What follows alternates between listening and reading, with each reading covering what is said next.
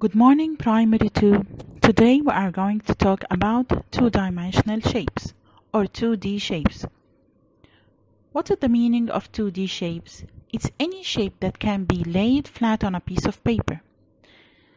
If you can remember these shapes, lesson today will be very easy.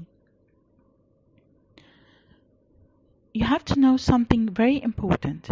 If you can remember this shape, it's called square. The square has four lines or it's formed from four lines. But this time we will say it as side. So side means line. Side means line. Each two sides met, meet at one point called vertex. Each two sides meet at one point called vertex or corner the number of sides equal the number of vertices in the same shape. Next, the first shape is square. The square has four sides equal in length. What the meaning of equal in length? Are equal. The four sides are equal. And it has four vertices. Who can tell me what the name of this shape? It's circle. The circle has no lines, so it has no sides and no vertices. Who can tell me what is this shape? This shape? Yes, it's a rectangle. Rectangle has four sides.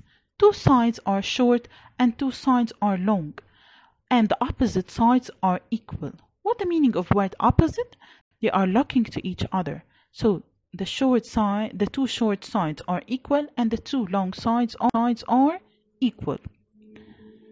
And it has four vertices. Triangle. The triangle has three sides and three vertices. Who can tell me what the name of this shape? It's a new one called trapezoid. Again, trapezoid. For the last time, trapezoid. The trapezoid has four sides. Two sides are parallel and two sides are not parallel. What the meaning of word parallel?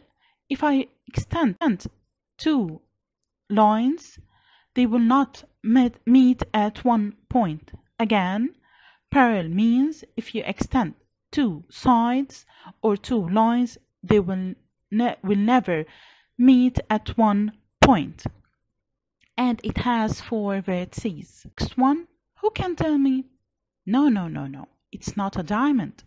Now we can say it as rhombus. Again, rhombus. For the last time, rhombus. The rhombus has four sides equal in length and it has four vertices. C's.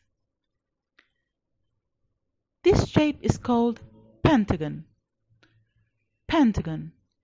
Again, pentagon. For the last time, pentagon. The pentagon has five sides and five vertices. The last is hexagon. Again, hexagon. For the last time, hexagon. The hexagon has six sides and six vertices. Now we are going to talk about sorting shapes. If I want to sort some shapes, I will sort them by sides. So we have to know a new word called quadrilateral. Again, quadrilateral. Again, for the last time, quadrilateral. The quadrilateral shapes are made up from four sides. Word quad means four and lateral is related to the word side like our squares, rectangles, trapezoid or rhombus. Let's sort some, some shapes. I can sort the triangles as, as three-side shapes. If you look at those triangles, you will find different sizes and different shapes, but all of them has three sides. The quadrilaterals are huh, shapes made yes from four sides so I can have squares I can have some rhombus, I have trapezoid or rectangles.